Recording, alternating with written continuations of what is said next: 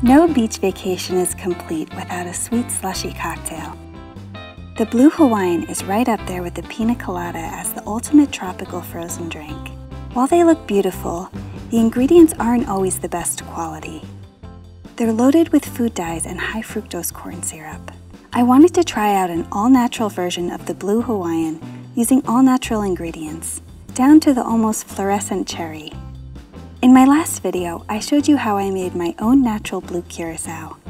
I will link that video in the description box below. I thought this cocktail would be a challenge to see how my blue curacao holds up in a frozen drink. While Coco Lopez is delicious and the industry standard when it comes to these kinds of drinks, I'm opting to make a toasted coconut cream instead to add just a little bit more complexity. I also like that I can adjust the sugar content of my coconut cream since I'll be needing to adjust the standard ratios of this drink. I've made this before in my Blizzards and Bikinis cocktail this past winter, and I just loved how it turned out. This toasted coconut cream starts with about a third cup of shredded coconut that I'll toast in my oven at 250 degrees Fahrenheit. Once it's lightly toasted, I'll remove it from the oven and set it aside. Next, I'll take a can of coconut cream and pour it into a pot with one tablespoon of demerara sugar, an eighth teaspoon of baking soda, and a pinch of salt. After about four to five minutes, the coconut cream tastes nice and toasted. Once it's ready, I'll pour the toasted coconut cream and the toasted shredded coconut into my blender and blend it for 30 seconds. Afterwards, I'll strain out the solids and set the toasted coconut cream to chill in the refrigerator. Now to make the pineapple juice. I don't have space in my apartment for a juicer, so I'm just going to dice up a pineapple and toss the pieces into my blender and blend until pureed. Once pureed, I'll strain it through a mesh sieve to collect the juice. I figured if I'm going through all the work to make an all-natural version of the Blue Hawaiian, that needs to include the garnish. Maraschino cherries are pretty gross and incredibly processed. For my version, I'm going to be using some sour cherries that I got from the farmer's market. These also make the best brandy cherries in my experience. First, I'll remove the stem and pit, and then get to work on the red syrup that they will be infusing in. I wanted to test out this natural food dye that I got for a Campari recipe that I've been working on. It's actually just a jar of cochineal beetles which was the original colorant for Campari until they switched to a more vegan-friendly option. To make the food dye, you need to crush a small amount of the beetles into a fine powder.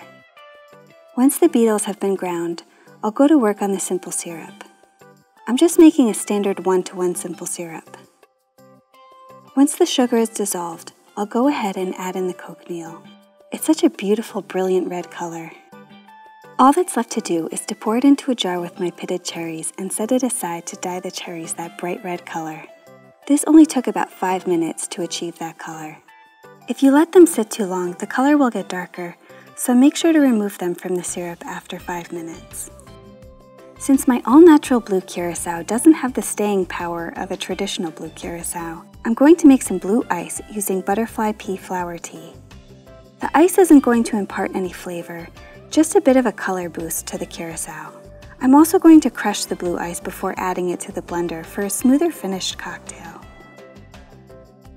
Now that all the components are ready, we can start building this blue Hawaiian in the blender. First, I'm adding a half ounce of the toasted coconut cream, followed by one ounce of pineapple juice. Then one ounce of white rum and one and a half ounces of my homemade blue curacao. I made this curacao on the drier side, so it won't make this blue Hawaiian overly sweet. Now I'll add a cup of crushed blue ice and blend this on high for about 30 seconds. I noticed a bit of color change due to the pH of the pineapple juice affecting the color of the blue curacao. While the cocktail was blending, I added two drops of this alkaline booster to correct the color. Typically, I would add a small amount of xanthan gum while blending frozen drinks to keep them emulsified and add a creamier texture, but I totally forgot to add it in. Once our Blue Hawaiian is finished blending, I'm going to pour it into my hurricane glass and garnish with the requisite pineapple wedge, cherry, and of course, the paper umbrella, as well as a couple pineapple fronds. And while mine is more of a periwinkle blue, it's really delicious, like a vacation in a glass. I think the toasted coconut milk really elevates this drink. It's definitely on the drier side when it comes to these frozen beach drinks, since I only added a small amount of sugar to the coconut cream, and my homemade blue curacao is also on the drier side. I do prefer less sweet cocktails, so this works perfectly for me, but you could always add a little simple syrup to sweeten it up. Thank you all so much for tuning in. If you haven't yet, please hit the like button and subscribe.